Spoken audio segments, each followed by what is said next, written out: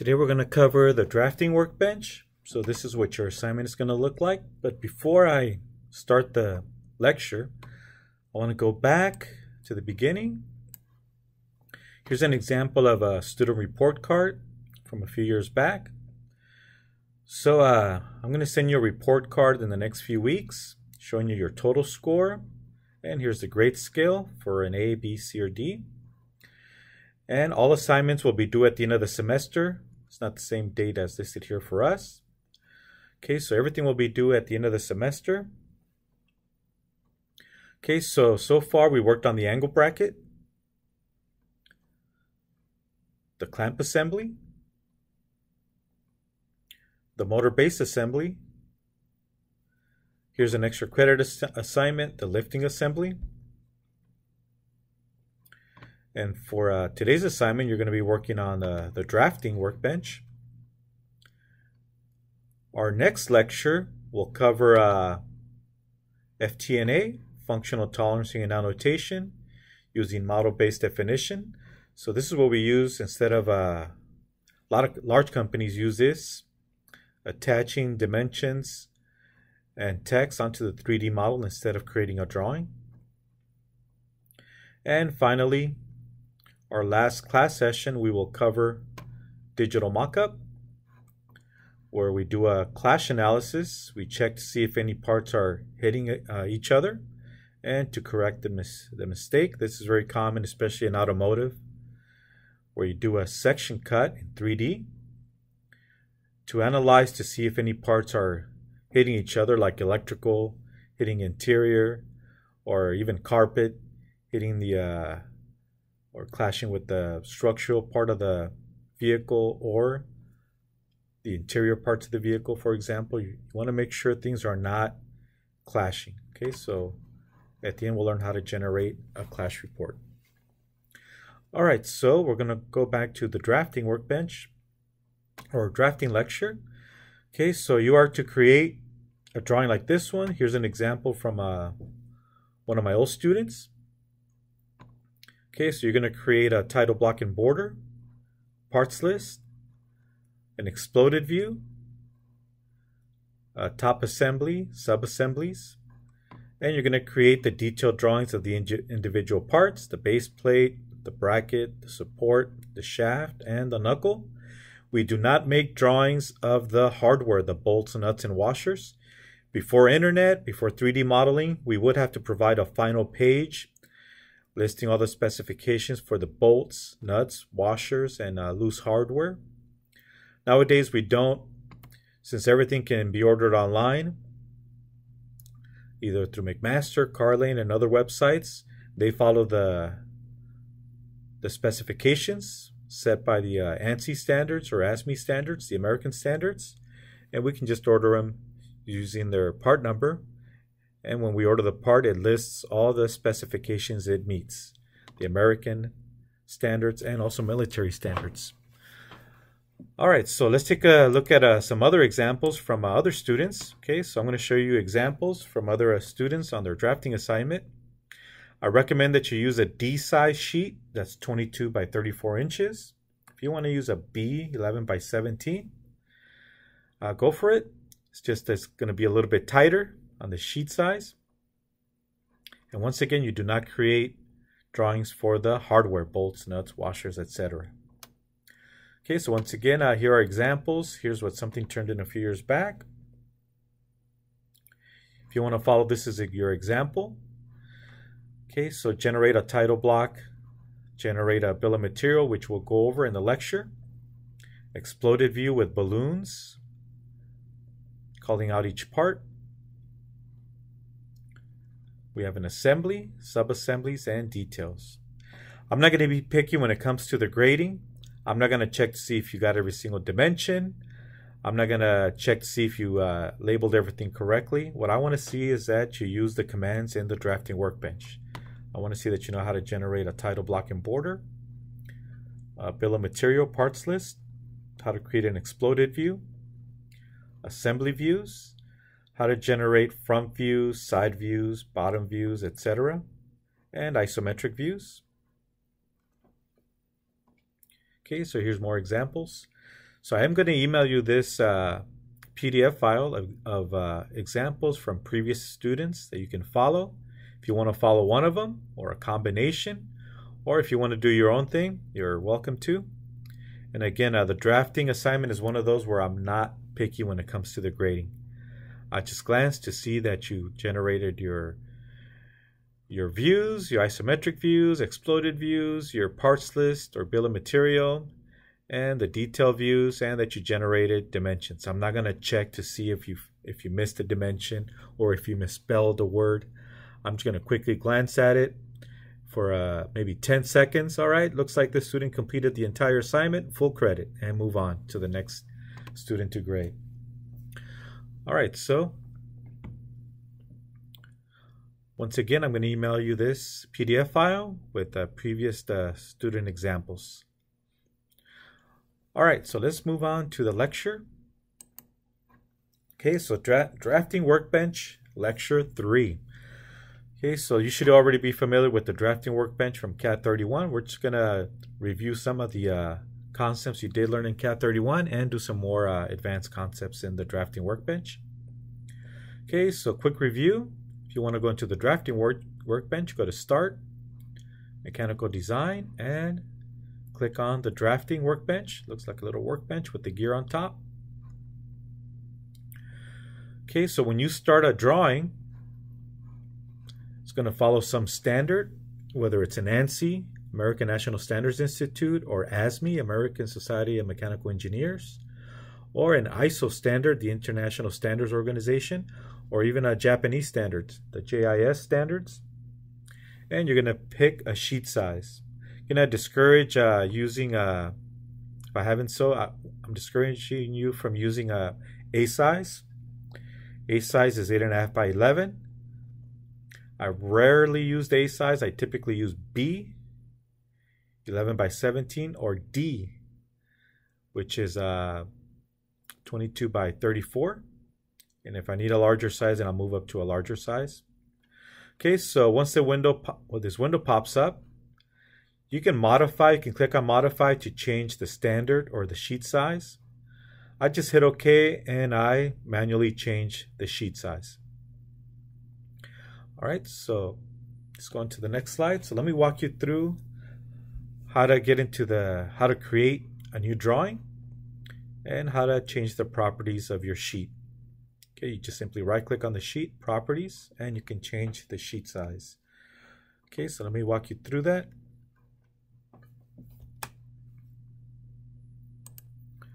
Okay, so this is the part we're going to make be making uh, some uh, views from. Okay, so if I'm ready to create a drawing for this part, I'll go to Start, Mechanical Design, Drafting, Okay, and I'm just gonna instead of hit instead of clicking modify, you know, I'll just go ahead and click modify just to show you that you can change the standard. Do you want to use ANSI, American Standards, ASME, American Standards, ISO, International Standards, or the JIS standards, which is which is the Japanese standards. And then you can pick what sheet size you want to use. So you can do it from here if you like. or you can simply hit OK and change it in the properties. Either way will work. Okay, I'm going to hit OK, and I'll just have it generate a sheet. So this is sheet one. So typically I'll do it from here. If I want to change the sheet size, I'll just right click properties. Okay, and, some, and then from here you can change the sheet size. One thing you cannot do is change the standard. But from here you can change the sheet size. Typically I'll use B size or D. If I'm dealing with something, uh, large assemblies like an aerospace, like working on a fuselage for example, I'll jump up to an E or even an F size, larger size. And uh, we have also a J size, which is a 36 by. You can change the length. So I've used J size for electrical wiring for uh, for uh, EV for electric vehicles.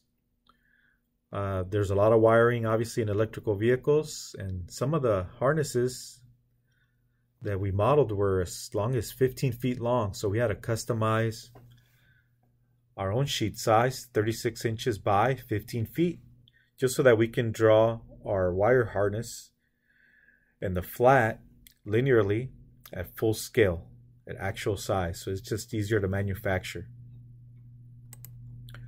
Okay, also this is where you change your angle projections. So most American companies follow third angle projection. So when you project from a front view to create your side view, top view, this case we're going to be using, uh, for this class we'll be using third angle. If you want to use first angle, go for it. So quite a few uh, other countries use first angle projection. Okay, so I'll leave it at B size. For this part, once I go into the assemblies, I'll go I'll jump up to a D size. So I'll stay in B size, okay. So this is 22 by 34. All right, so if I want to create a front view of my part, I can go to front view, right? Go to front view.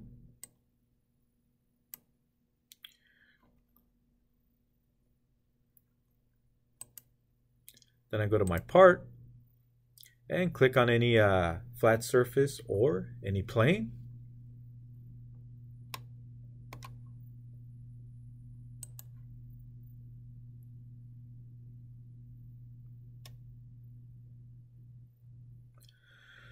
Okay, so you should be familiar with the compass here. This to rotate, right? So you can use the arrows to rotate. There's also a rotation option here where you can control. There's also this little green uh, circle here that you can just rotate about. You can also change the increments of how much you can rotate by by right clicking. I'll just leave it the way it is. I'm going to deviate a little bit from the lecture notes, but I'll call this my front view. And I'll just click in space to generate or click on the center blue button here to generate my view. I'll just click in space so I can generate the view. There it is. Okay, so let's go back to the lecture notes. Okay, so we already talked about right clicking on a sheet and how to change your sheet size or angle projection. Okay, if you want to view both your model and your drawing at the same time, side by side, you can go to Window, Tile Vertically. Okay, so if you want to see both windows at the same time. Okay, so currently I'm in the drafting workbench. Let me go over to the 3D model. Okay, so if I wanted to see both the 3D model and the, and the drawing side by side, I can go to Window, Vertical. Okay, so there it is. Comes in handy. So it's easy to go back and forth if you're going to generate more views, which we'll do in a few minutes. Okay, so that is once again window, tile, vertically. Okay, so we already generated our front view. We're going to go ahead and generate an isometric view. And I already went over the compass, right? You can use the compass to rotate, to flip. You can also use the green button to rotate it. Okay, before we create our isometric view, I want to go over this. Here's an axis. This is the axis of our part. So if we go back to our 3D model, we'll see that our axis is here. And I prefer to turn this off. You can go to Tools Options, Drafting Workbench, and go to the General tab and turn this off. I typically will have it off. So you can uncheck this and this will go away, your axis for your part for the 3D model. Okay, so let me demonstrate that real quick. I'm going to quickly model another part.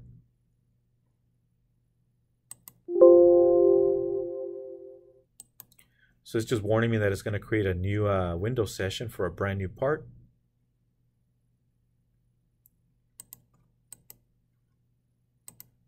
Oh, it just took me back to this part. I go to start again. So I'm already in part design, so it should recognize that I want to create a new part since I'm already in part design over here on the right. Click it. Yep, so it recognizes that I want to create a new part if I go to the same workbench, the part design. Okay, so I'm going to model something real simple. But I'm going to model it away from my axis. Now you may not see an axis, but it's where your XYZ uh, planes intersect. That's where your, or I should say your origin is at, right? Okay, so I'm going to model something away from the axis.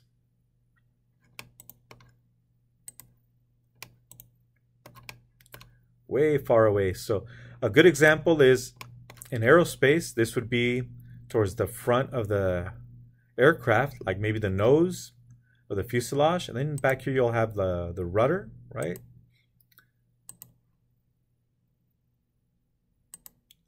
So typically you'll, or I should say every time, the rudder is going to be way far away from the origin of the aircraft coordinate system. So again, the fuselage nose would be somewhere here. And way out there will be the rudder of the aircraft at the tail section of the aircraft.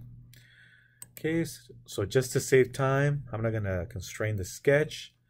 I'll create a pad real quick, doesn't matter what. What thickness, okay. And watch, I'm going to bring in this view. Okay, so let's go back to uh, drafting. And I'll just create a view and I'll delete it in a, in a few minutes just to uh, get the point across about this axis. So currently I have it off, it's not showing. I'll turn it back on in a few uh, seconds. All right, so let's go ahead and generate a new view. So front view of this rudder I just modeled up real quick. Click on any planar surface or plane to generate the view.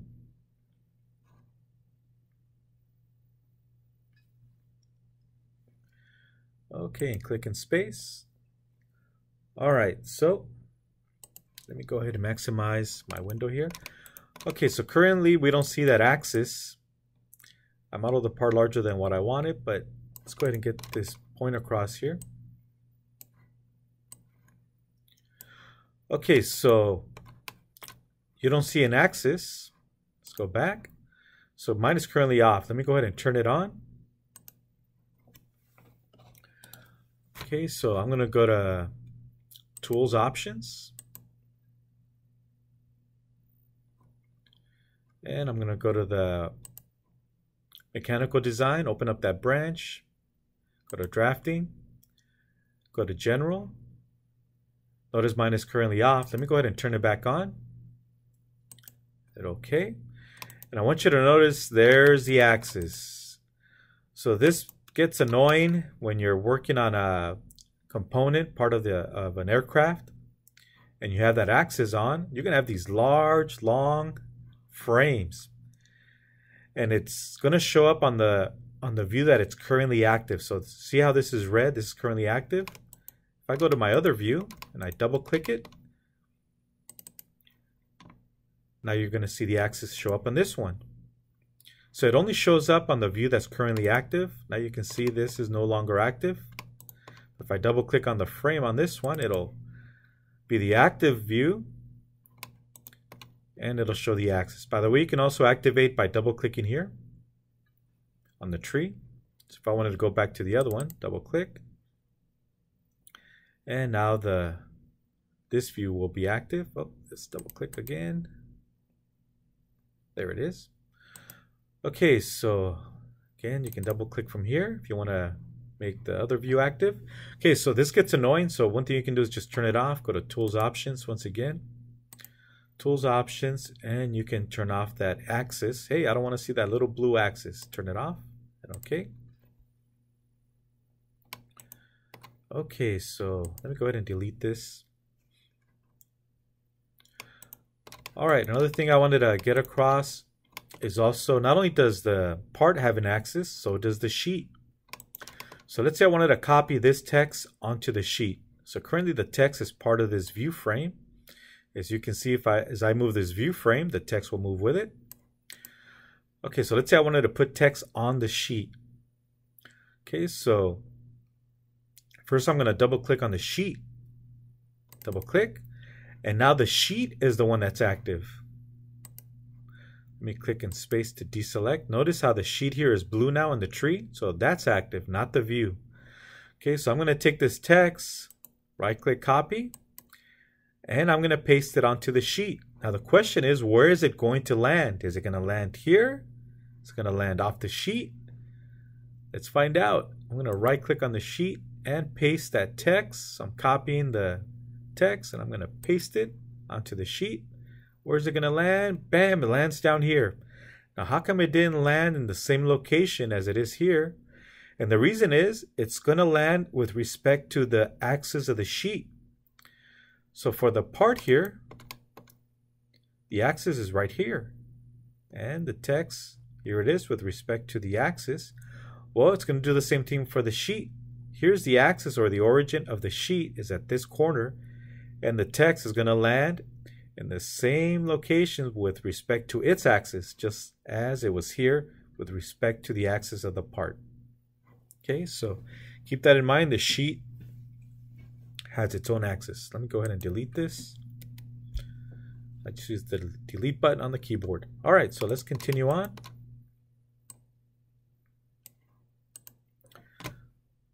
All right, so let's go ahead and create an isometric view.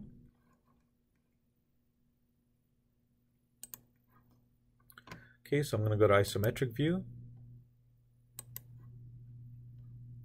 Go to my part.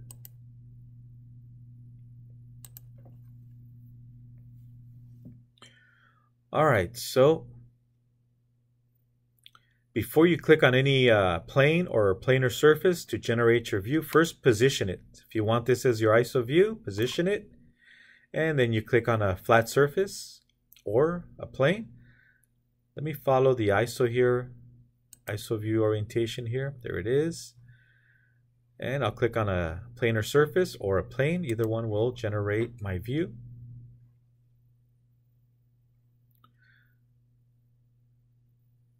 All right, click on the center button or click in space to generate the view. And typically you'll place your ISO view most of the time on the upper right corner or wherever you have space available. Okay, so that's ISO view.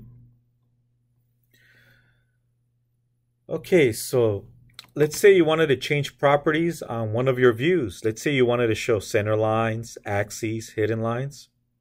Okay, so all you have to do is right click on that view on the tree or on the frame, right click, properties, and you can have center lines, axes, hidden lines uh, generated or be generated.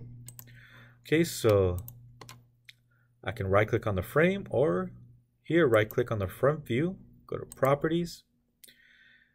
And if you want to generate hidden lines, turn on hidden lines. If you want to turn off fillets, typically you don't want to show fillets, the round tangency fillet lines. I want to see center lines and axes. By the way, also, if you want to lock a view, let's say you're finished creating your drawing, your dimensions, and for some reason you want to lock this view so you don't uh, later on mistakenly delete something or alter something, you can always lock the view here. All right, so I'm going to hit apply and keep your eye on the view. Three, two, one, apply, and it's going to generate center lines, hidden lines, axes, axes, as you can see. And hit OK. Okay, so as you can see, it generated hidden lines. That's a hidden line. We have an axis line, axis line, and center marks. And by the way, if you want to alter the size of a, let's say the center mark, you can click on it and you can use these grips to change the length. If you just want to change only one, you can hold on to the control key if you just want to change one. So currently I'm holding on to the control button on the keyboard you just want to change one at a time. Okay, so you do have that option. If you let go of the control button, then it's going to move all of them at once. Okay, so, all right, let's continue on with the lecture. Okay, so once again, you can uh, turn on your hidden lines, center lines, axes. Typically, you'll turn off those fillet tangency lines. Also, if you want to change the scale, if you want your view to be larger or smaller, you can change the scale here by inputting either fractions, ratios, or decimals. Okay, so you can change the size of your view here in scale. Actually, you know what? Let's go ahead and do that. Let's say I wanted to change this to a larger size. Right click on the frame, properties.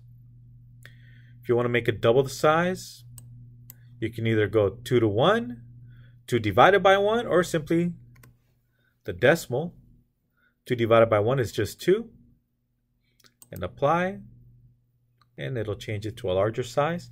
If you want half size, you can do 1 to 2, 1 divided by 2, or the decimal, 0.5. 0.5 is half. Apply in 3, 2, 1, apply. And there it is.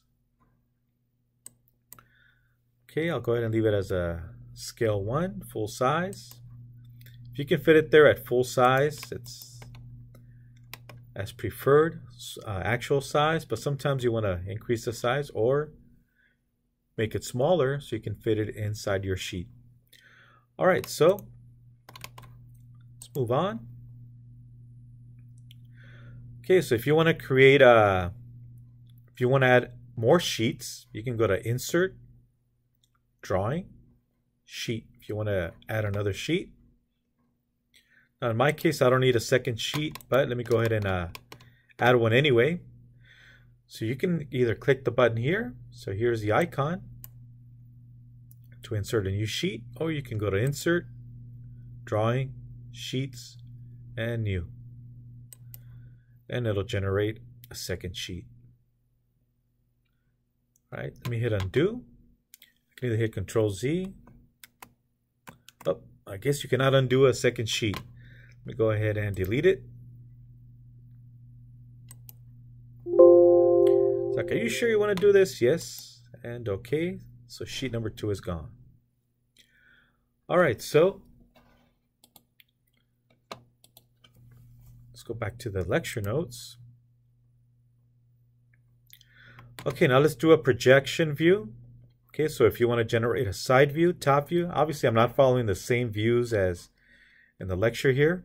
On the lecture notes, I chose this as my front view, but rotated 180. Okay, so uh, typically your front view should be the view that gives you the most information.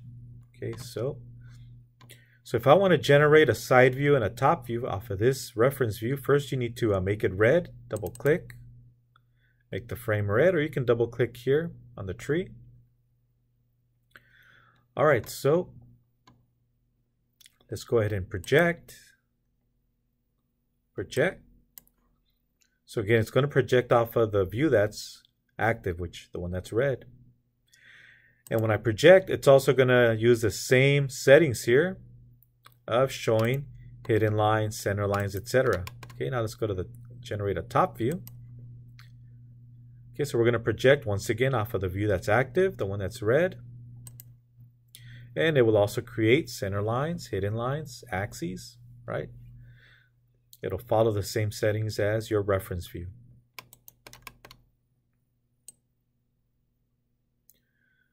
All right, so we can go ahead and uh,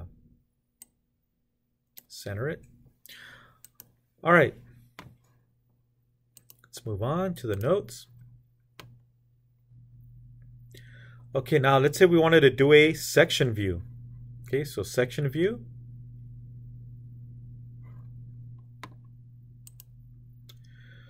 Okay, so let's say I wanted to show a section view cutting right through the middle of this part. First, you got to activate the part. Activate it. Now we don't need a section view for this part. The three views is more than enough to show all the features of the part. But let's say you wanted to generate a section view to show what's inside the view, or the, the solid I should say.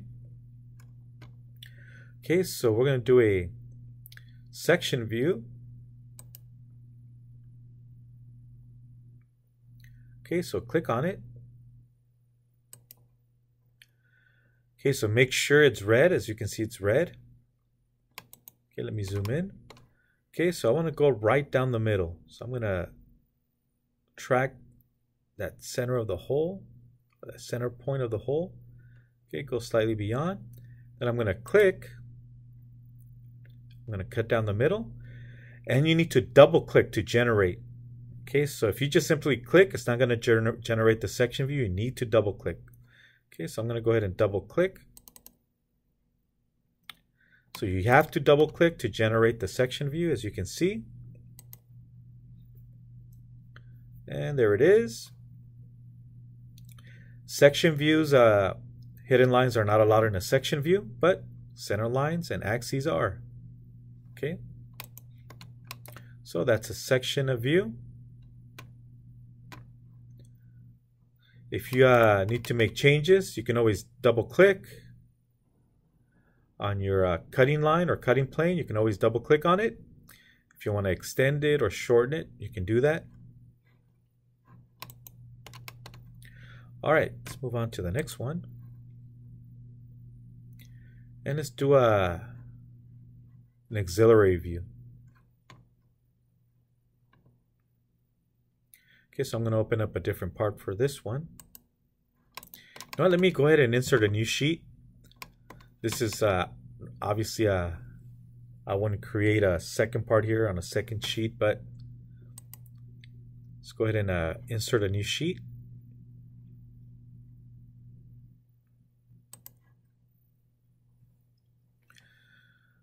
Okay, so notice it generated the second the second sheet as sheet 3. It recognized that we used sheet 2 before, the one that we deleted previously.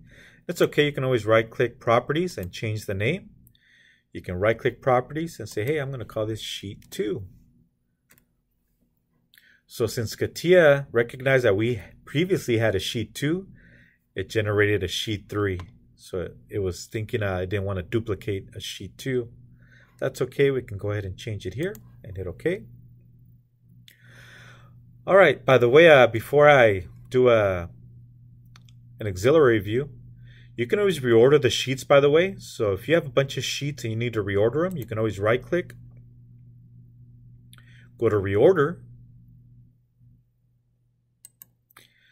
and you can only reorder and drop it below an existing sheet. Okay, so all you have to do is hover over the sheet you want it to be uh, placed afterwards. Okay, I'll just go ahead and hit escape. I just wanted to show you that's how you reorder. Once again, just simply right click. So if I wanted to place the sheet below sheet, sheet one below sheet two, can just right click, reorder, and click on the sheet that I wanted to go after. Click on it and see it reordered. Now we have sheet two and then sheet one. Okay, let me do it over again. I want to reorder sheet two so it's second instead of first. Right click, reorder, and click on the sheet you want it to come right after. Click, and it reorders it. All right, comes in handy. Okay, so I'm going to go ahead and open up this part, which has uh, an angled surface. Okay, as you can see. Okay, typically when you have a part like this, you have to create an auxiliary view. All right, so let's go ahead and generate a front view for this part.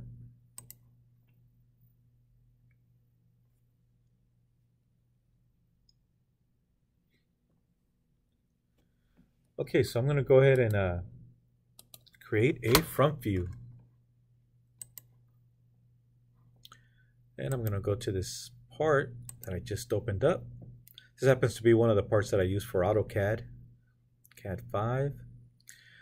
Okay, so let's create our front view.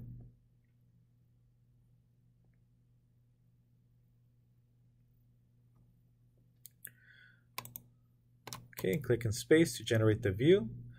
Okay, so first make sure it's red, which it is. The frame is red. If it's not, double click on it, turn it red, it's active.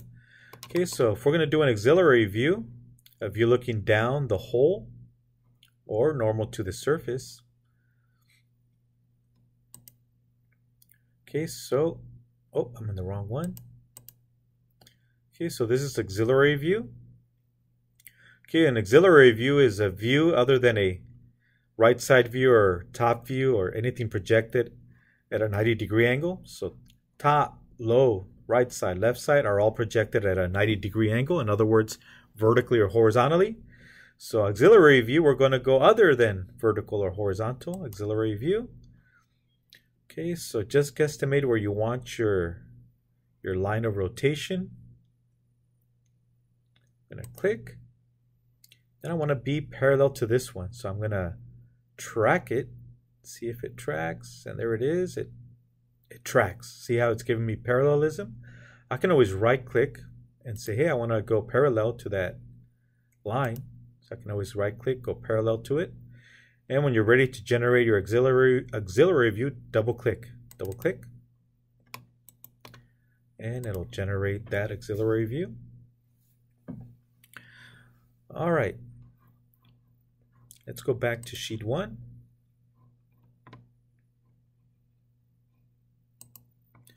Okay, so that was auxiliary view. Okay, so if you want to do a detail, a detail view, instead of using this as an example, I'll use, you know, I'll go back and use uh,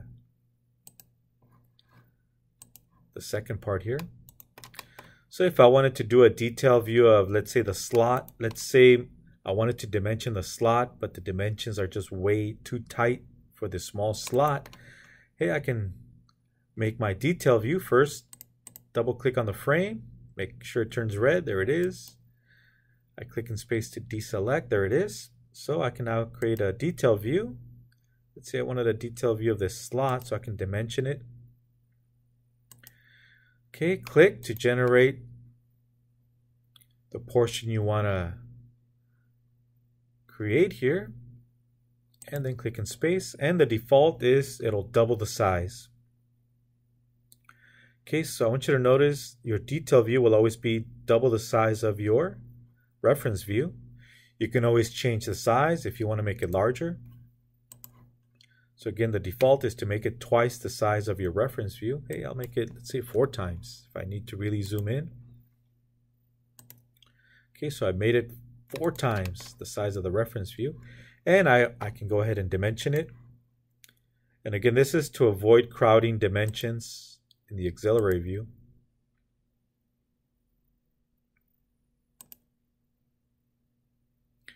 Okay, so again, sometimes you need detail views, zoom into a view as a tiny feature like this slot, this rectangular slot. Okay.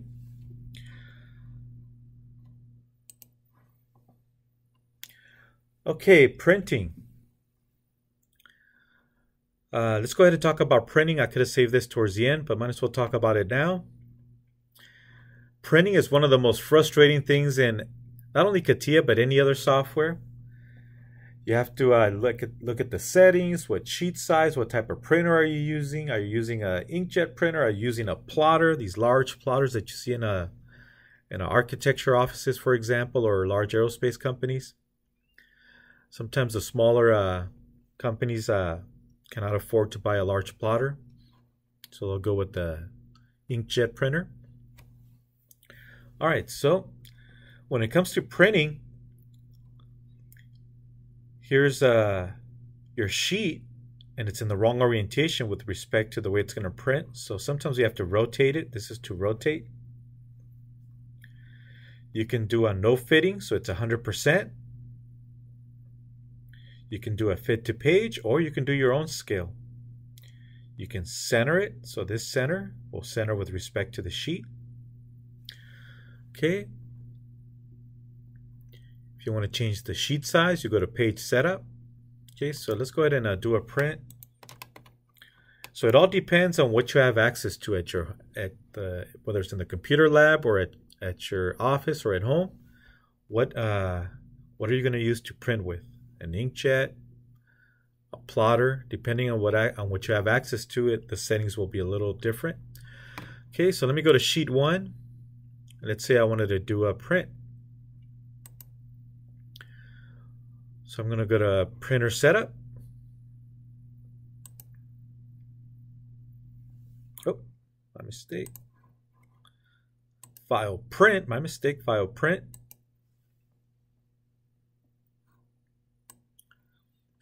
Okay, so notice I have the wrong orientation. So if I want to rotate it 90 degrees, there it is, it rotates it. If I want, hey, no fitting 100%, like, whoa, yeah, the sheet is too small if you want to print this at full scale. So currently my sheet size, most likely it's at 8.5 by 11. So I can go to page setup and say, hey, instead of a letter 8.5 by 11, I want to go up to a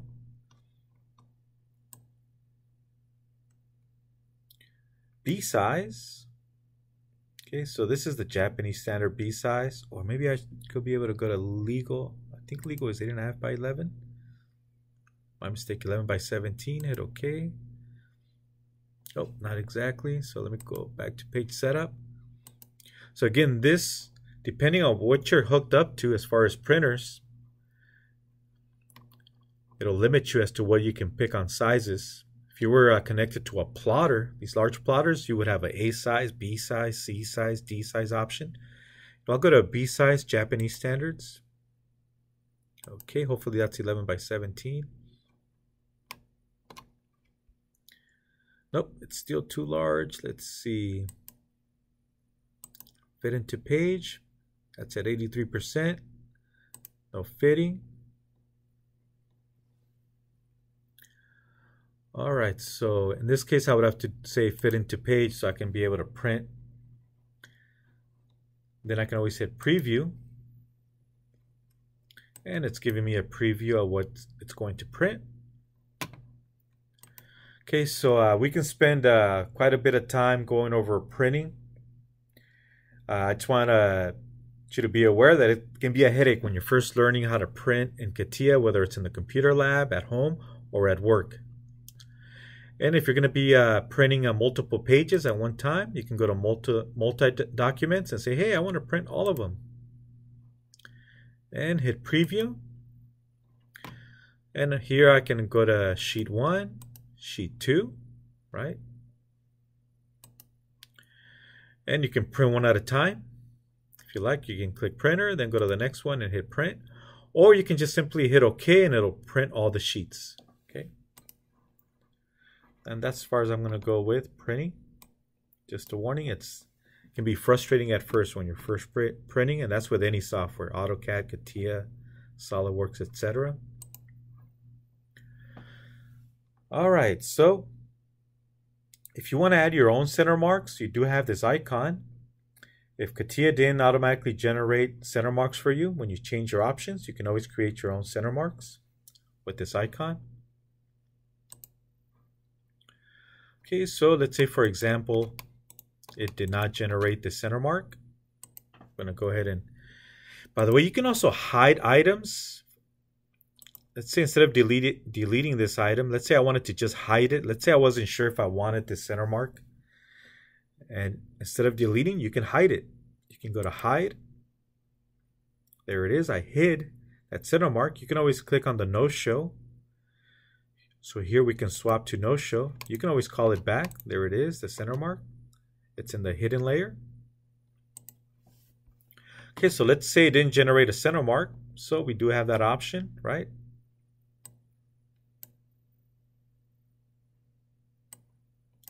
So let me go ahead and get that toolbar. Here it is. And I can click center mark and click on an arc or circle and it'll generate my center mark.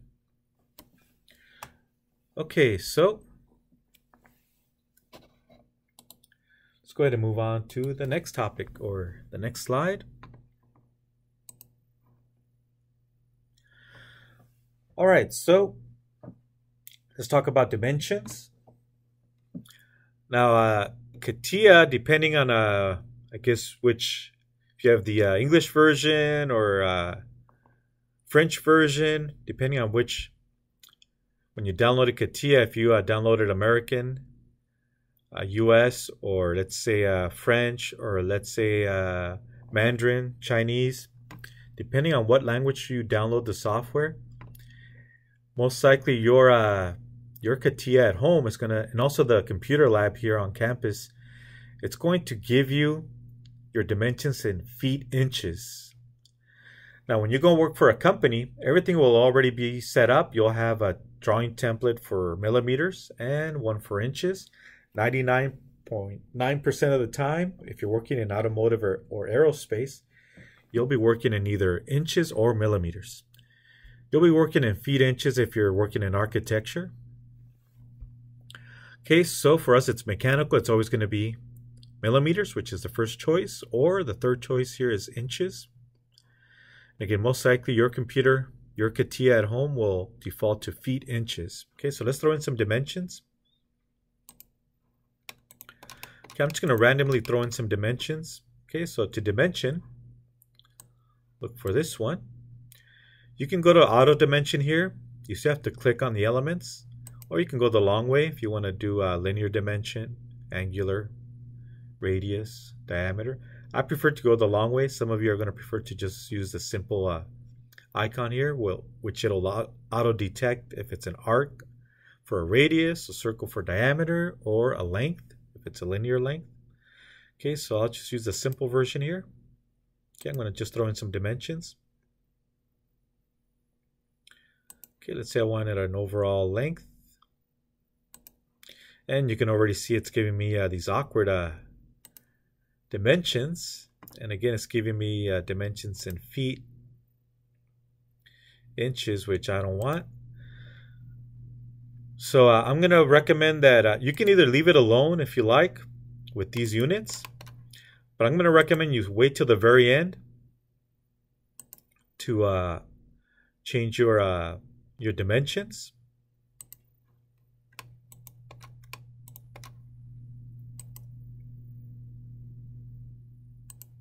So I'll just throw in a few dimensions. I'm not going to do all of them because of time. And let me go ahead and throw in one more for diameter. Okay, so uh, once you throw in your dimensions and hey, you don't like these dimensions, I don't want feet inches, I want millimeters, or I want inches, how do you do that? So you can change it one at a time if you like, which is the long way. You can go click on the dimension you want to alter and you can right click properties. You can right click properties. This is one option. And let's see I'm going to look for units here. Oh here it is. On the first tab the value tab instead of feet inches hey I want millimeters. And hit apply and keep an eye on your screen. 3 2 1 apply. So if you want millimeters, there it is, millimeters. If you want to change decimal places, you can do it here in precision. If you want to go to inches, hey, I want inches, go to the third option, inches, and apply. Okay, so this is 2.25 inches. Okay, so this is the long way of doing it by by doing one at a time. By the way, you can also change it from up here. You can select the dimension, which I already have one selected. And you can change it from here, millimeters. Oh, want to go to inches. Okay, so in this case, I want to go to inches. On your assignment, it'll I think it'll be millimeters. So what you can do is imagine you you have already dimensioned all the views. You're ready to change your dimensions to inches in this case. Okay, so we're going to go to the drop down here, but first select everything. I'm just going to window select everything. So you can see everything's been selected. Then I'm going to go here to the drop down and say, hey, I want inches. Three, two, one inches. And there it is. It gives me inches. Okay, by the way, uh, if you want to add a little leader in front of your text, you can always click on the dimension. And you can either go to properties or go here to add a little tiny leader here. There it is. Just looks better. Same thing with this one. And I want to add a leader in front of it. And I can use this manipulator to extend it. So you can use manipulators to extend. Also, if you want to add text, you need to click on these red triangles. If you don't see these red triangles, I'm going to show you in a later slide how to turn on all these manipulators.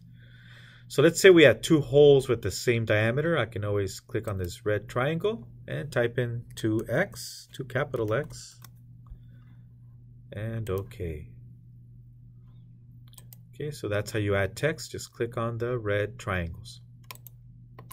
If I wanted to remove the double arrow and just go down to one arrow, so in this case, I don't need two arrows, arrowheads.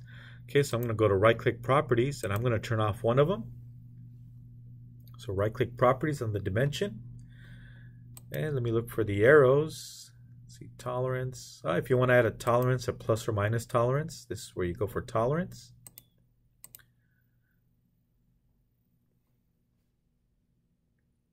So here are my arrowheads. So I'm going to turn off the second arrowhead and hit apply.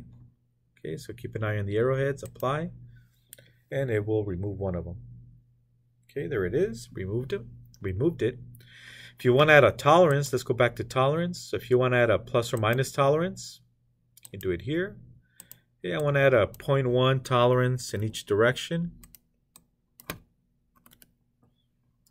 Apply, keep an eye on the dimension. Notice it added a tolerance. Oh, I forgot a minus. Forgot to put a minus and apply. So if you want to add a tolerance, hey, half inch plus or minus 0.10, for example, just go here and add a tolerance. Okay. Or if you want to add a uh, a max and minimum tolerance, you can also do that from here. Or I can just go back and remove the tolerance, apply, and that'll remove it. All right. So another thing that you have here also, if you want to add or remove the lead, that little tiny lead we added in front of the text, you can do it from here. Also, sometimes you want to remove extensions. On this one, it doesn't have extensions, but you can also remove extension lines. You can do it from here remove extension lines.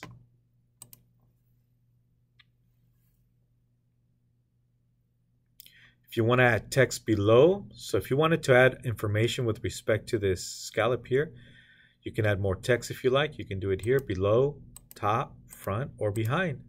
Instead of using the red uh, triangles that I showed earlier, you can do it from here. Also, if you want to add symbols, there it is. So you can always click in the window where you want to add the symbol. It already has a diameter symbol on ours, right? You can add symbols here. Depth, counterbore, countersunk, etc. You can do it from here. Okay, if you want to change the font, typically you don't change the font because it's following a standard. In this case, it's following in a, I believe it was an ANSI, American Standard.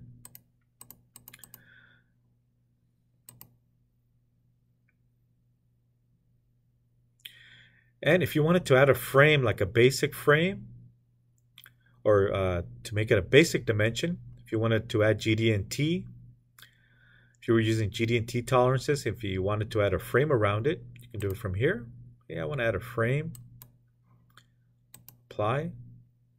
Okay, this is something you would see in a GD&T class. It's going to add a frame around my text. For us, we wouldn't use it here. Just wanted to show you how to apply it.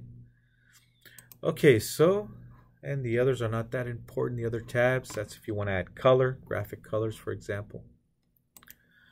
All right, so let's move on to the next slide. Okay, so once again, you can individually change each uh, dimension.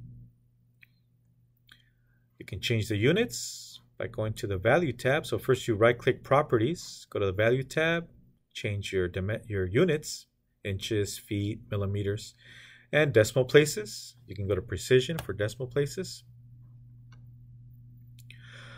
All right, now manipulators. So if you wanted to turn on these manipulators, these little white uh, squares and the white arrow, it's hard to see here, and the red triangles, you have to go into Tools Options, go to Drafting, Manipulators, and you want to turn all these on. Okay, so after you created your dimension, all these manipulators will be available to you if you checked all these on. If you turn these on, the manipulators will show up as you're creating the dimension. Uh, so we don't have, need to uh, have these on as you're creating the dimension. We'll just wait after the dimension is created. Just turn these on, so it'll give me access to all these manipulators. Okay, so again, if you want to be able to use these manipulators. As you can see, if you want to hit, if you hit the control key, it'll only move one. If you let go of the control key, it'll move both, as you can see. Okay, so we have these manipulators. And also if you want to add text, you have the red triangle. So you, all you simply have to do is go to Tools Options and turn on those manipulators. Okay, so we're going to go over to the Mechanical Design, Drafting, and go to Manipulators. There's Manipulators. And it, most likely in your case, these are going to be off. So mine are all on. Okay, and hit OK. And it'll turn on the manipulators. Okay, back to the lecture. Let's go to the next slide. Okay, and I'm going to mention this on the assignment video. Your text is going to snap to a grid. Okay, so your drawing has a grid, and if you don't want it to snap, you got to turn these off. Okay, so you go back to the drafting tools options, drafting, and anytime you move text or move a view, it's going to snap. So you want to turn these off. So there's this one here under dimensions. Look for the arrow, the move arrow, and turn off snap. And there's also another one under annotation and dress up. Also, when you're moving text or maybe a, a view, or I should say a bill of material, table, for example, it's going to snap to the grid in the background of the drawing. So you may want to turn this off. If it's on and you want to leave it on, but you want a freedom to move without snapping, you can always hold on to the shift key as you're moving something, like text or dimension. All right, so, so mine is currently off. Let me show you the grid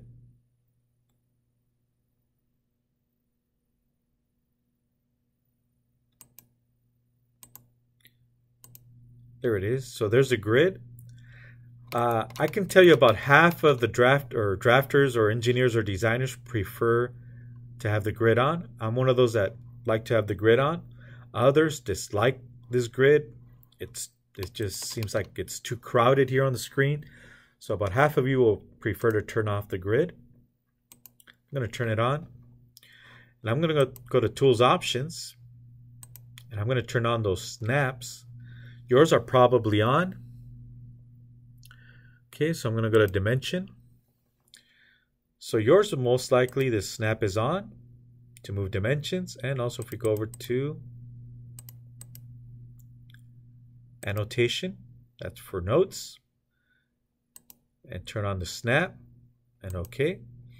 So watch what happens with the snap currently on. Anytime I move a dimension,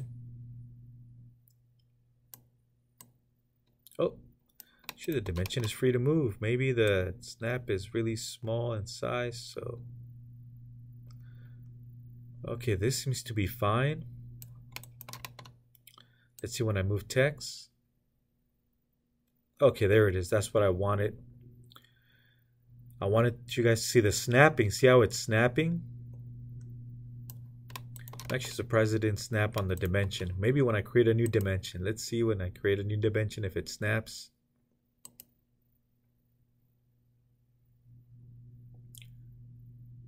Okay, it doesn't seem to snap for dimensions. Okay, so I was wrong on that. But it does snap on text. So as I'm moving the text, it's snapping. So you can either turn off those snap options, which I mentioned earlier, or you can hold on to the shift key on the keyboard and now I'm free to move. It's not snapping anymore.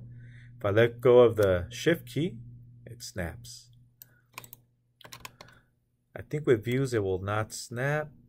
Okay, with views it's okay. So that's another correction I have to make. With views it will not snap, but it will with text and if you have tables like a parts list table. All right, so let's go move on to the next one.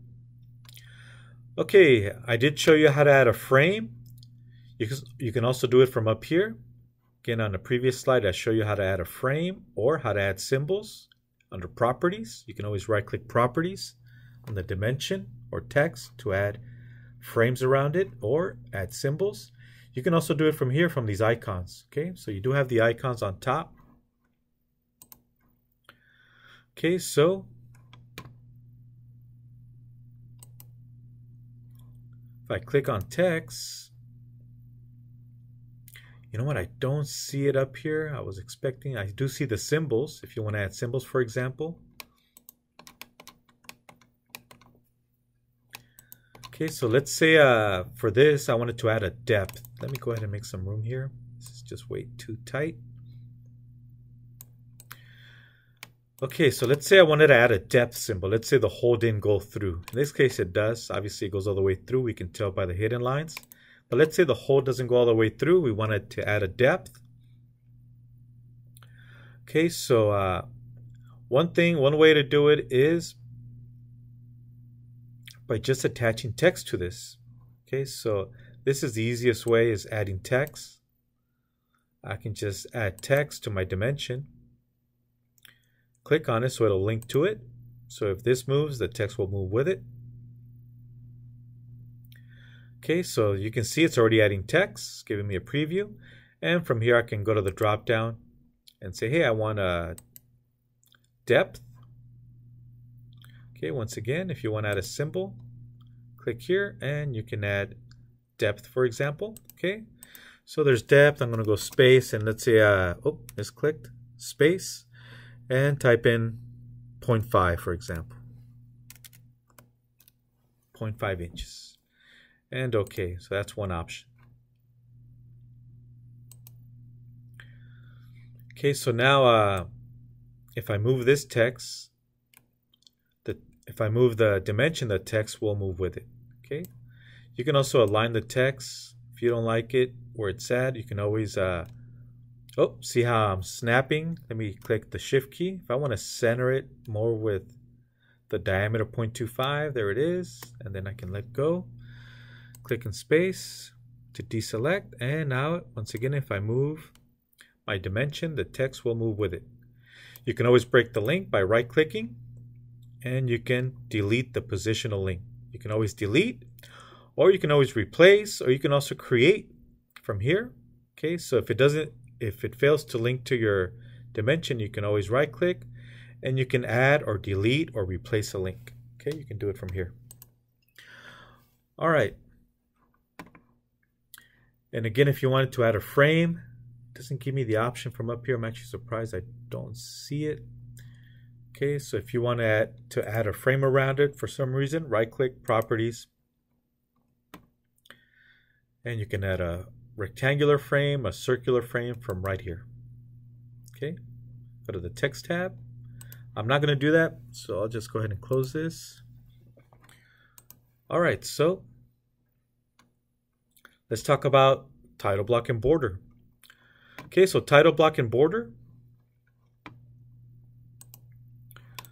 Okay, so let's say we're ready ready to add a title block and border. Let me go ahead and uh, place these back in a dock toolbars, just like docking a boat or a ship. All right, so let's say we're ready to add a title block and border. So you're going to go to Edit, Sheet Background. You have to do it in the background. CATIA will not allow you to generate a title block and border on the view space. So we have to go to the sheet background. As far as I know, there is no icon for sheet background. Okay, so go to edit sheet background and it'll turn gray. So now we are in the background. Okay, so this is where you add where you where you're going to add your title block and border. Okay, notice how the uh, notice how it added icons. So this is the title block and border or frame and title block. You can go to also go to insert, drawing, frame, and title block. Here it will not allow me to add a, a second, third, my mistake, a third, fourth, or fifth sheet. You have to do it in, in the in the view space. So here in uh, the background space, you can add a, add a sheet, but you can add a title block and border. Okay, so click here, or you can also click on that icon. Now, uh, in our computer lab, I'm using my personal computer on this one. I'm using the student license. So maybe you're going to have the same issue depending on when you downloaded CATIA. If you downloaded all the documents, it looks like I didn't. I did not download the templates when I first downloaded CATIA into my personal computer. Okay, so from the drop down here, you would have options. You would have different styles of title blocks and borders. Actually, CATIA would give you three or four different options. You click from the option and it will also uh, give you options to generate or delete a title block and border or modify or even if you change the sheet size, let's say we go from a B to an E size sheet size, you would do it from here. You would have it regenerate a larger title block and border. Okay, so let's go to the notes to show you what it looks like. So once again, again, you have to go to the sheet background and it's grayed out, or I should say it's gray, the background, to insert a title block and border. And this is what it would look like. Once you go into uh, insert title block and border, and once again, you cannot insert a sheet in background. You can only do it in the view, in the view area. Okay, so in sheet background, you'll be able to add a title block and border. And you can go to the drop down and it'll give you a preview of what style of title block and border or frame it's going to give you. From here, you can generate, create the title block and border. You can delete, you can resize it, right? You can resize it. If you change the sheet size, you can update.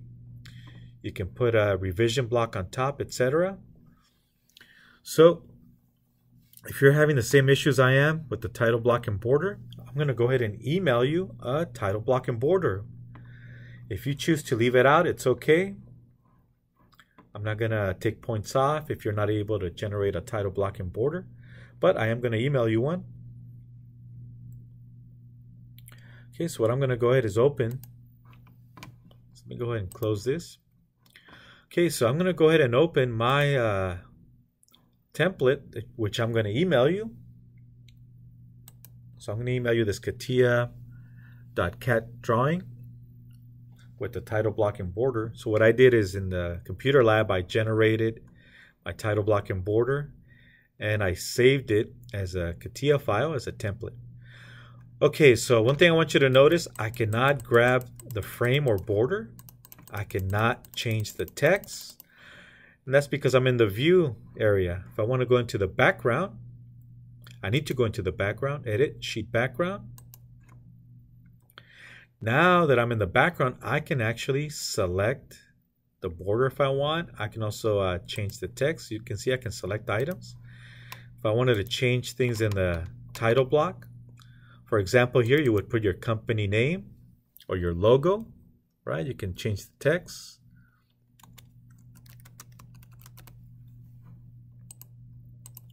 Okay, so you can see, you can uh, change the drawing number. Notice that it automatically generates your projection style or type, I should say, third angle projection. Here's my sheet size, D size. So I generated this a few days ago. And it also, it recognizes the user of the computer, which is me, okay.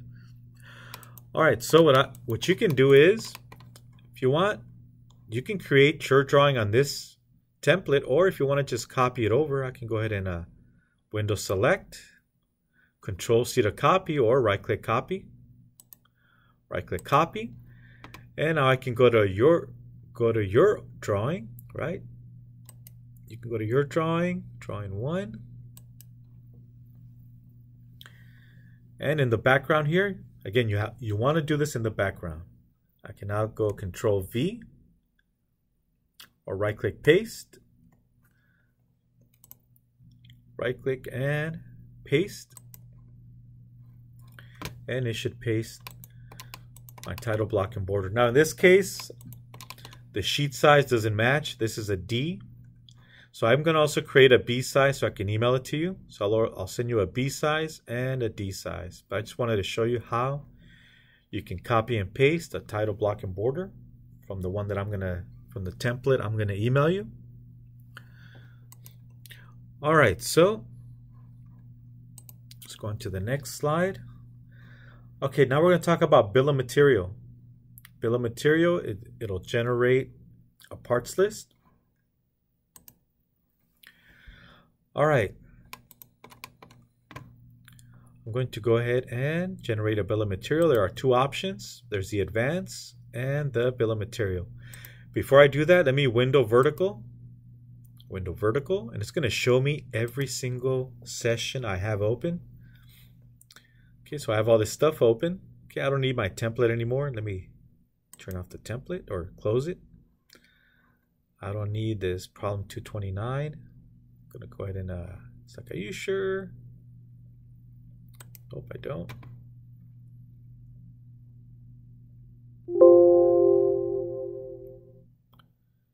And I don't want to save this. Oh, by the way, when I did a copy and paste, I unintentionally created a link between this drawing and the template that I just closed. So it's giving me a warning.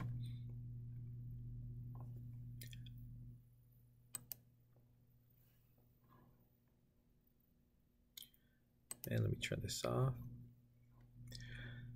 All right, so let me backtrack to this title block and border.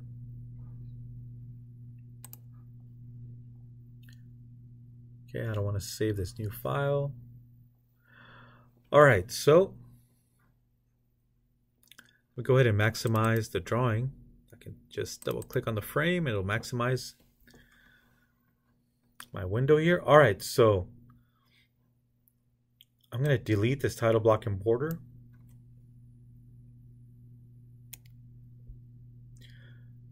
Okay, let's see if I can still paste it. I should have right clicked, paste special.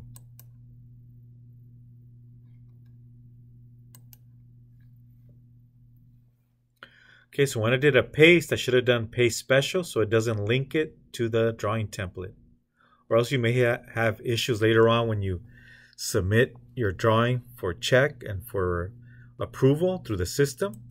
So again, I have to right click, paste special, my title block and border. If you do paste, it'll create a link between your drawing and the drawing template, which you do not want. It'll create uh, problems when you're ready to release the drawing through the whether it's Team Center Teamcenter, Enovia, through the PLM system to release your drawing for approval, for documentation. All right, so let's generate a bill of material. Okay, so let me go ahead and hit window vertical. Now to generate a, a bill of material, I need to do it on an assembly. So let me go ahead and open up an assembly. You know what, I'll go ahead and open up the top clamp assembly. So bill of materials, typically you do it in a on an assembly. So here's my assembly. Okay, and I'm going to create a new drawing. I'm going to go to File, New and I'm going to go to drawing. So if I was creating a drawing for this assembly, okay, I'll stick to a B size. And let's say first I'll, I'll bring in a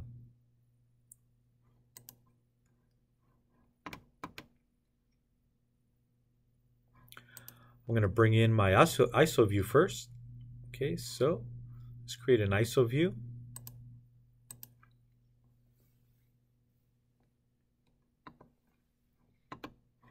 And let's go to the clamp assembly. So I'm creating a brand new drawing.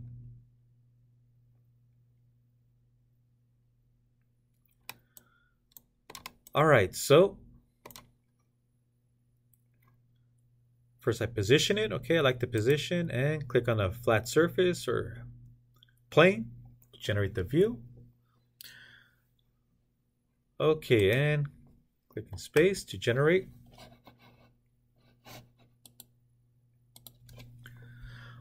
Okay, so let's say I'm ready to generate my bill of material. You want to do it in the background, edit, sheet background.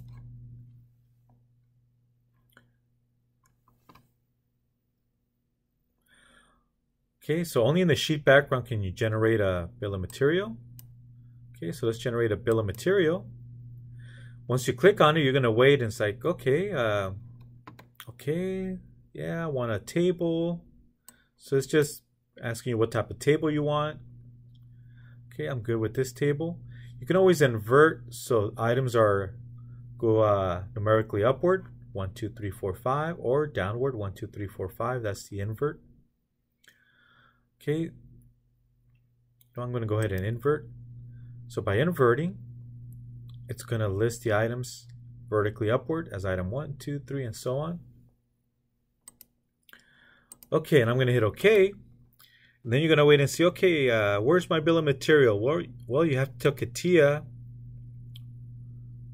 what are you creating a bill of material of. So you have to go to your clamp assembly and click at the top of the tree. If you want to generate a bill of material for the entire clamp assembly, you have to click at the top. So you have to tell CATIA, hey, I want a bill of material for that entire assembly. Okay, now it's going to ask me to position it. Where do you want it? Okay, I'll just click here in space, click, and it'll generate my bill of material. There it is. There's my bill of material for my clamp assembly. Okay. Now, one thing it doesn't generate is item one, two, three. It didn't generate uh, a item, So, one thing I can do is double click. I can double click on the table. So this is similar to an Excel spreadsheet. Not as powerful as an Excel spreadsheet. It's a simple version of a spreadsheet. You can always change the size of your columns, as you can see. You have that option.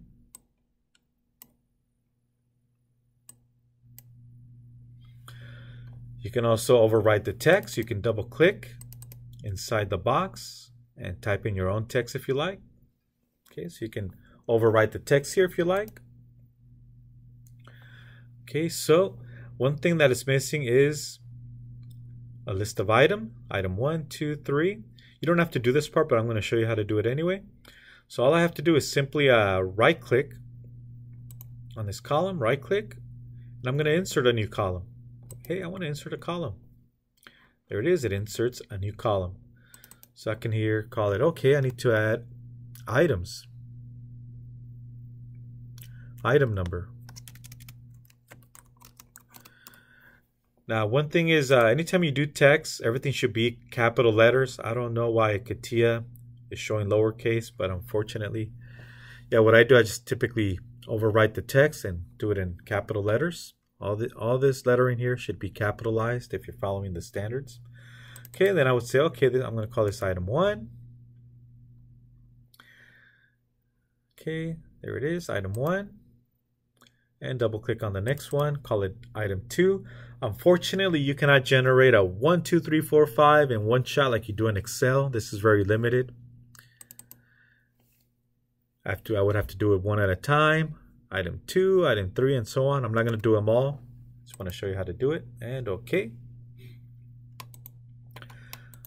All right, so, and you can also do an advanced one. I'm to take a simple bill of material. Okay, you can also do a regular bill. So the first one we did was an advance. Would go back to your 3D model.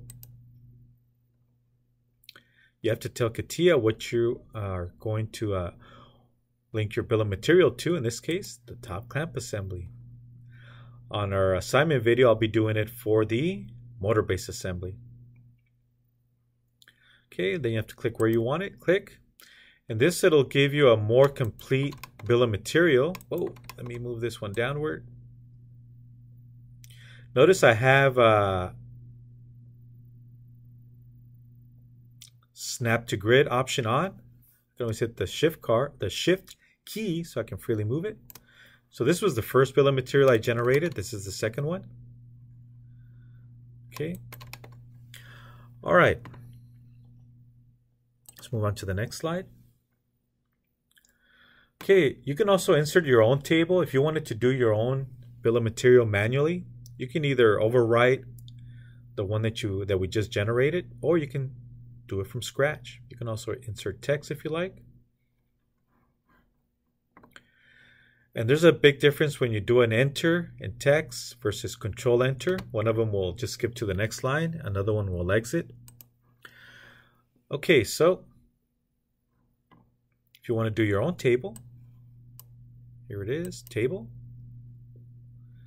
Okay, how many rows, how many columns, and then hit OK, and then click where you want to generate it. Click where you want that table. There it is. And once again, you can always move it. And you can manually type in your text into each cell. Okay. Or again, once again, you can always override any text in the generated table. Using the bill of material like uh, command. You can always overwrite. Okay. All right, and you can also add text. And again, all this is going in the background.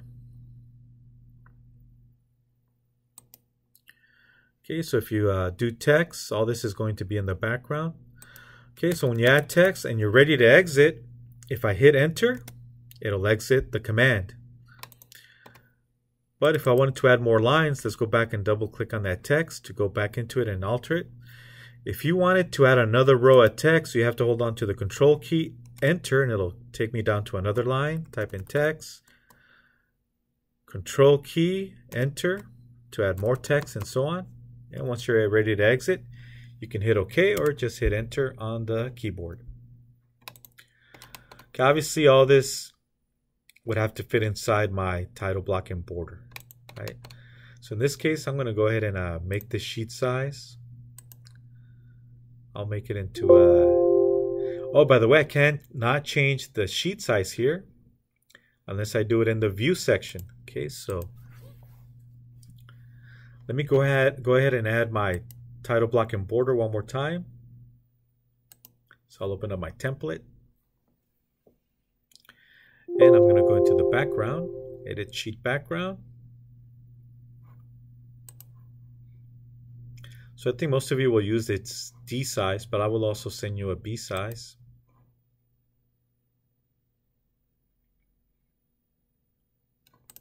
let's go ahead and copy this. I'm already in the background.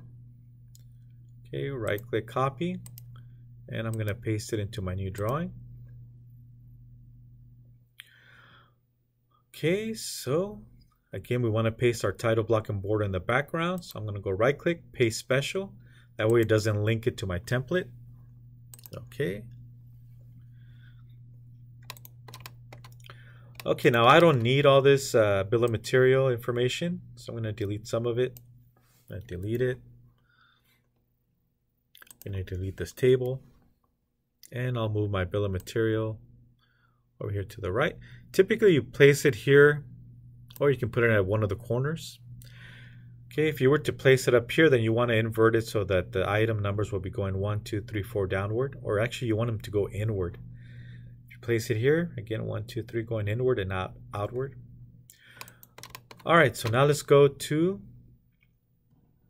back to the working view layer. So go back to working view. Okay, now I can change my sheet size. Okay, I'm going to go from a B to a D size. So right click properties and I'll change my sheet size to a D. And okay. And there it is. It fits it. And there's my assembly. Okay, I forgot to uh, delete this text you would have to go into the background. Notice how I cannot grab the text here, this extra text that I did for fun. I can uh, I can delete it, but I have to go into the sheet background. All right, let's move on. We're almost coming to an end here.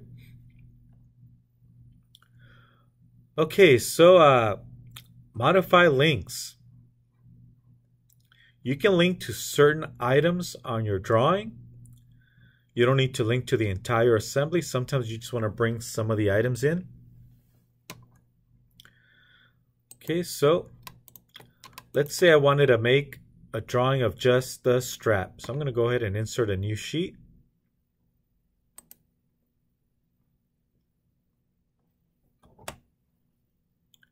Insert a new sheet. And it should copy everything over from the previous page. Now, I don't need the bill of material no, the text. You don't you don't want to uh, keep including the bill of material on each page. You just include it at the very beginning, sheet one. So I'm gonna have to go into the sheet background and delete. So it just automatically brought everything over from the background of sheet one, and we don't need to duplicate bill of materials. Again, you're not going to have this issue once you're working for a company. All this will be set up for you. They'll give you a drawing template to follow. Okay, let's go back to working view. Okay, so let's say I wanted to create a detailed drawing of the strap now on sheet number two. Okay, so let's go ahead and then we'll talk about modify links. Okay, so let me first create my detailed drawing of the clamp strap and only the clamp strap. Okay, so I'm going to go ahead and create, let me first create an ISO view, isometric view. Go to my clamp assembly. Now, one thing you don't want to do is open the clamp strap in its own window. You want to go to the assembly. You want your drawing linked to the entire assembly. You do not want to open this on its own window. Okay, so what you're going to do is select the clamp strap from the tree. Select it. So this is the only thing it's going to bring in to our drawing. And then click on a flat surface or a plane to generate the view.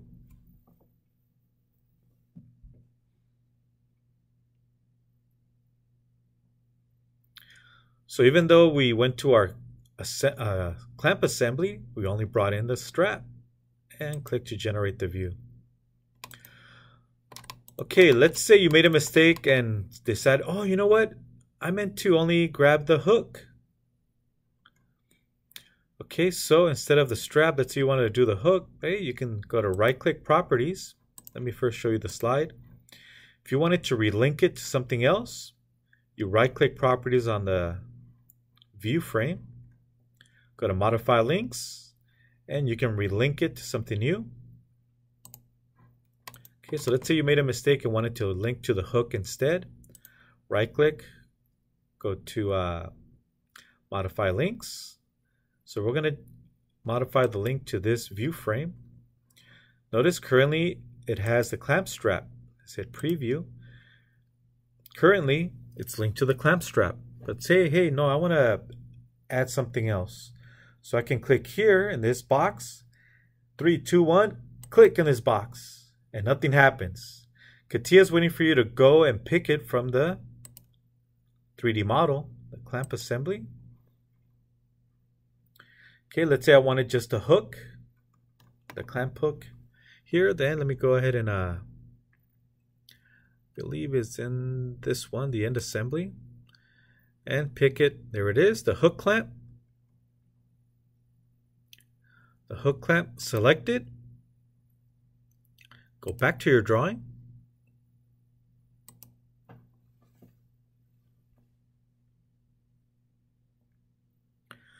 Okay, and there it is. It's on my list now. Okay, so now I select it. Well, actually, I can select and add it to my linked window. So I'm going to say, hey, add all of them. So it'll add this hook clamp onto the list. Add all. Watch how it moves up. There it is. Notice it's in the preview here. It's showing it's showing me the, the hook clamp. And hit OK. And then you have to update. Okay, so you can right click update or hit the swirl icon to update the update button. You could also done the update button. Say, oh, there it is. Oh, I forgot to unlink the clamp strap. So let's go back. Okay, so let's say you meant to only do the hook clamp and forgot to remove the clamp strap. We can go back, right click properties and go to modify links. And once you're in modify links, you can say clamp strap, remove. It's going to remove it. So it's giving me a warning that I may change the orientation of our view because we used the plane from the clamp strap to generate the view. It's giving me a warning. Okay. Hopefully it doesn't uh, change the orientation. And okay. And update. It actually did change the orientation. So because the first time we went off of the orientation with respect to the clamp strap, it did change the orientation. Let's say you didn't like this orientation. Let's say you wanted to change it. Like, oh, I don't like this orientation. I want it to look similar to the handout. All right, you can right click. Oh, I don't know what I did there. I think I deleted by mistake. Undo, Control Z, undo. I think I mistakenly right clicked and deleted by mistake. Yeah, I accidentally cut it or deleted. Okay, we're back. Okay, so let's say we wanted to change the projection. So we can say modify projection plane. We can go back. Okay, go to the 3D model. And this time, instead of using uh, a clamp strap to project off of, I'm going to use a flat surface on the clamp strap, or the, my mistake, hook clamp. There it is. So now I'm changing the orientation. Okay, so you can do that. So if you make a mistake, have the wrong orientation, there it is, and click on space to regenerate. All right, that's modify links. You'd be surprised how many uh, CATIA designers are not aware of modify links. Okay, we're almost coming to an end here. Okay, overload properties. Sometimes you want to change something to a phantom line because maybe it's not part of the final drawing, but it's something that uh, just displays how the part is used. You can overload properties.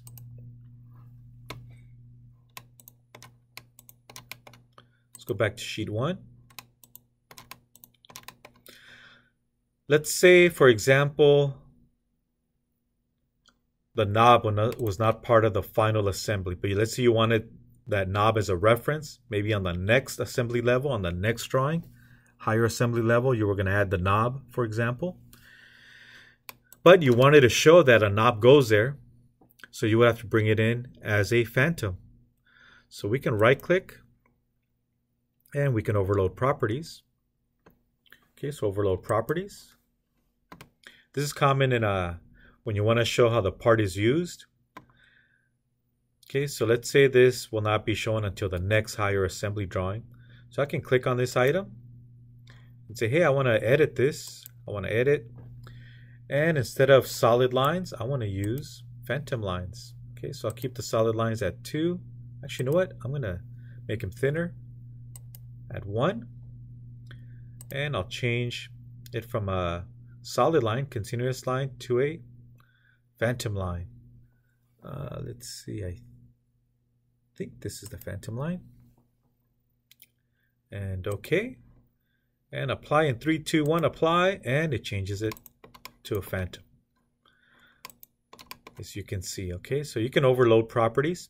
You can always undo it. You can always reset. So you you can always go back and reset it, select it from the list. So you can do multiple items here if you like. We only have one. You can always reset the properties and apply, and it'll reset it back to the original. Okay, so that is overload properties. Comes in handy sometimes when you're dealing with complex assemblies and you want to at least give a preview of what's going to look like on the next higher assembly drawing. Okay, and finally, uh, I'm going to show you how to create a scene and I'm going to walk you through this in the video of the motor base assembly drawing. Okay, so how to create a scene.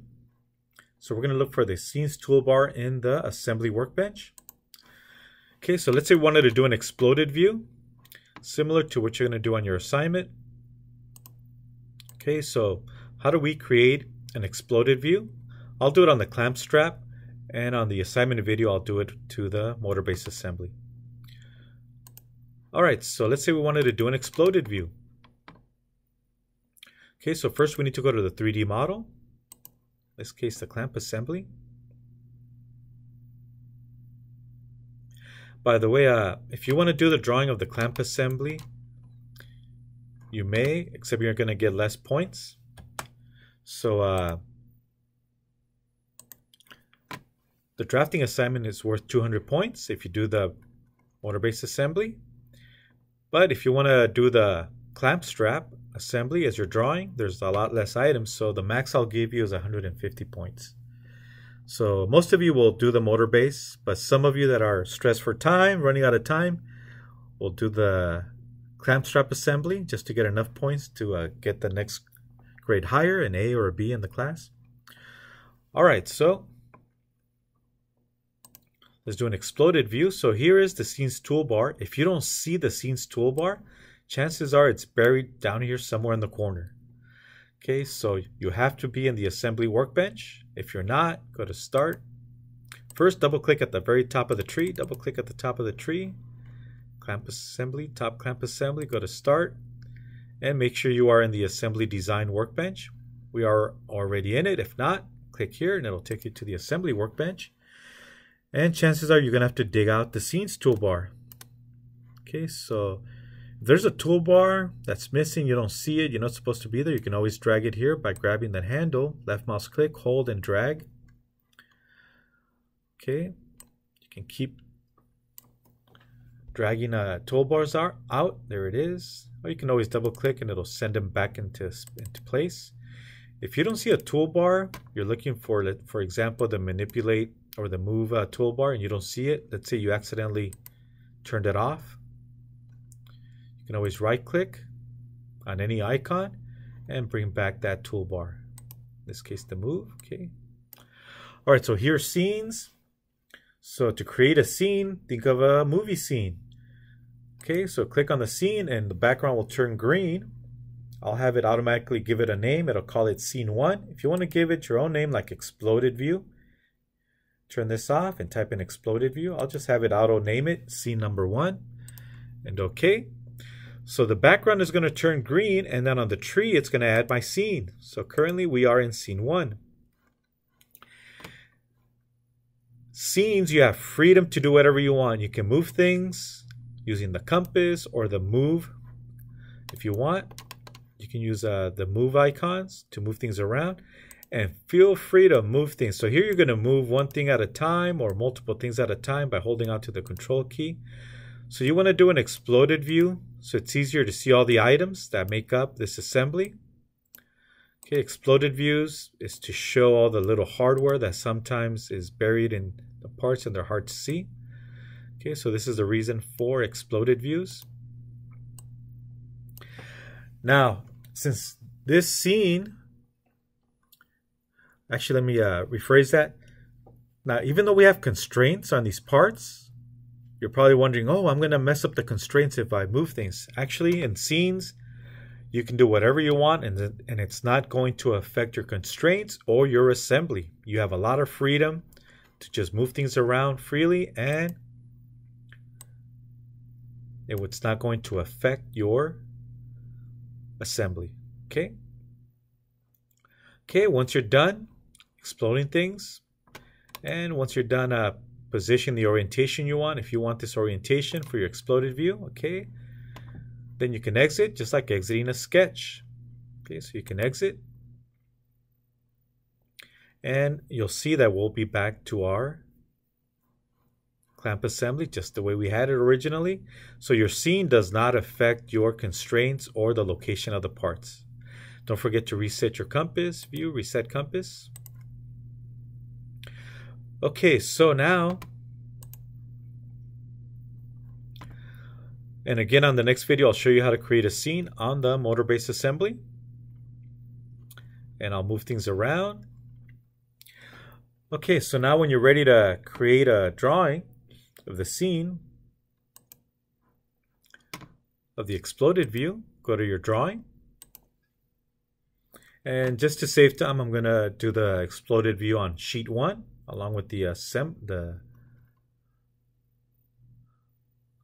along with this ISO view, the assembly view. I'll just move this over. Okay, so I'm going to create a new ISO view of the exploded view. Go to ISO, and then go to your 3D model, clamp assembly, and click on the scene on the tree, scene one. Click on it. So it's going to bring in the exploded view, scene one. Click on it, and then click any flat surface or plane. And it's going to bring in the exploded view, our scene one. All right, so if you like the orientation click in space and it'll generate. You can always go back into scene one. You can always double click scene one.